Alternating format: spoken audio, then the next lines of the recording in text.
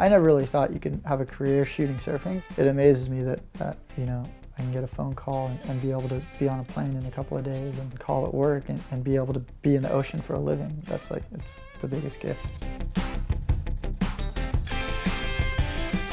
At a really young age, I grew up um, riding a surfboard and bodyboarding, and I was always going down to the beach and surfing with my friends. And a friend of ours had a camera with a water housing and a fisheye lens, and we would all just take turns using it. That was probably the start of it. I had a couple friends that were going to school in Santa Barbara and I went and visited them.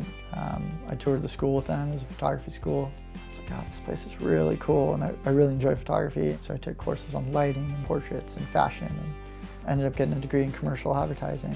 And so when I finished school, the first thing I did is I went on a surf trip and I went down to Mexico for about two months with a friend. And we would surf and when the, the light was good, we'd shoot stills and when I came back from the trip, I sent a few of the photos into Surf Magazine and they ended up running a few of them. Later that year, I, I won a photo contest. That kind of kick-started, I guess, my career in the surf world.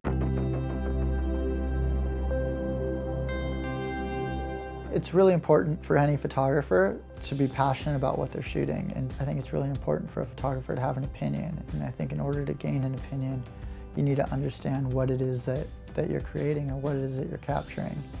I guess if you look at a lot of the images that I've made, I've, I've always tried to make like one image that is a strong image and something that someone can really appreciate and it doesn't always have to be the most technical maneuver. Sometimes someone just doing a bottom turn or doing a high line is just as beautiful as someone doing a 720 in the air.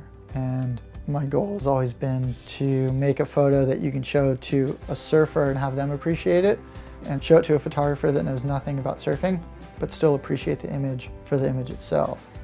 That's the greatest success as a photographer is to make something that's either so like awe-inspiring that makes people want to do that or people can relate to and, and can, can enjoy for themselves.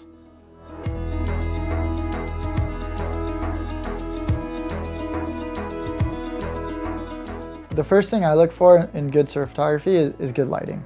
Typically I try and do the majority of my shooting in the first hour of the day and the last hour of the day. That's when the light's the most dynamic. The last like couple years I've been really into shooting everything backlit.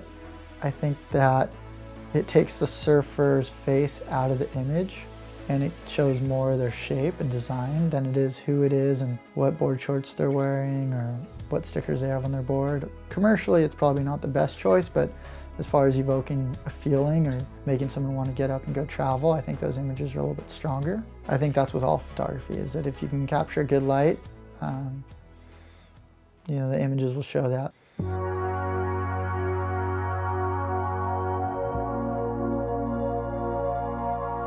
So about two years ago, I was at home and I got a call from Taylor Steele and he's like, hey man, he's like, I really want to make a new surf movie. I'm like, well, let's do one because we've done a couple in the past together. I'm like, I've always wanted to make a surf book. I'm like, why don't you make a movie and I'll make a book and we'll do it together. So we started meeting in a coffee shop just down the street and just come up with different ideas, come up with different places we wanted to go, kind of like our wish list of people that we wanted to be in the film. The project's called Proximity. And it's a story of four groups of surfers, but with each group, there's a bit of an age gap. And so, for example, like the first trip we did, we did with Shane Dorian and Albee Layer. And Shane's about 20 years older than Albee, but they're both really into surfing big waves. They're both phenomenal at what they do. And so we thought it'd be great to put them in places where they can feel comfortable, but also uh, push themselves, both in the water and then, you know, socially uh, outside of the water. So we did about eight months of prep. And then the first shoot we did was last October.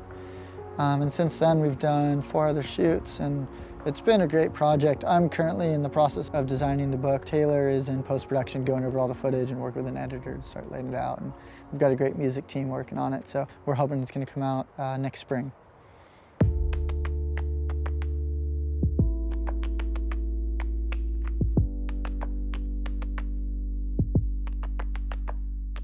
I feel like you could kind of look back and, and, look at a career and you could see like some of the images we've made in the past and you know think they're cool or whatever but I'm, I'm always kind of thinking about what we can do better and what images we can make that are new and different and I think there's a lot more images to be made and a lot more stories to tell and a lot more places to go and and that's what inspires me to, to want to keep going and to keep shooting and to keep traveling.